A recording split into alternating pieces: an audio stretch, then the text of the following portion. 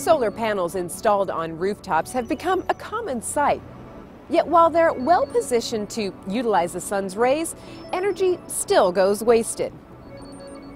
But in the future, solar cells may take on different forms and be far more efficient.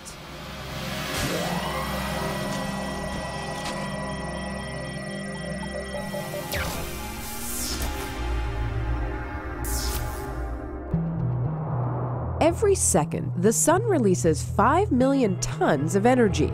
Of course, most of it goes untapped. But researchers around the world are striving to capture more of that precious power. At Stanford University, engineer Nick Melosh leads a research group that's developed a new solar conversion process called photon enhanced thermionic emission, or PETE.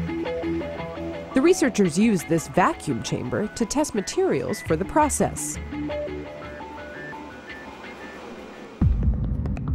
Traditional photovoltaic cells, which can't convert heat directly from sunlight, have an efficiency rate of about 20%. But by using the sun's light and heat, PETE could boost that significantly, up to 30%. It really uses the energy coming from the sun twice. So the idea is that the sun comes in, you absorb it, and then you use that just like a photovoltaic would. Uh, and so you get some electricity out directly. But all the waste heat that is generated now goes to a thermal conversion system where it tries to convert some of that energy again. Melosh calls it a two for one.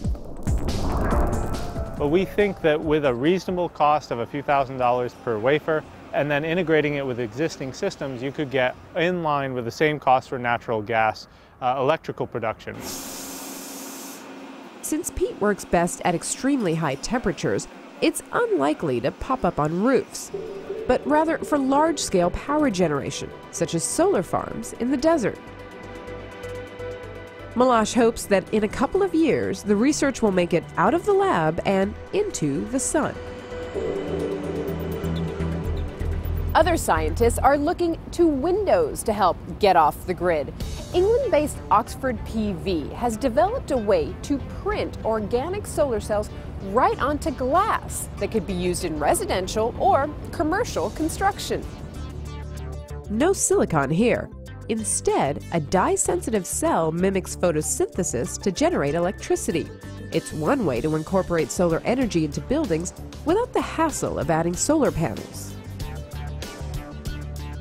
And at the University of South Florida, researchers are moving beyond solar installations to spray cans. They've developed a coating that can be sprayed onto surfaces to create solar panels.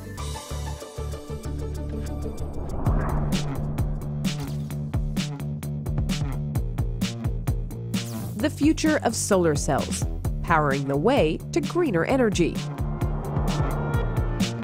For ZDNet, I'm Sumi Das.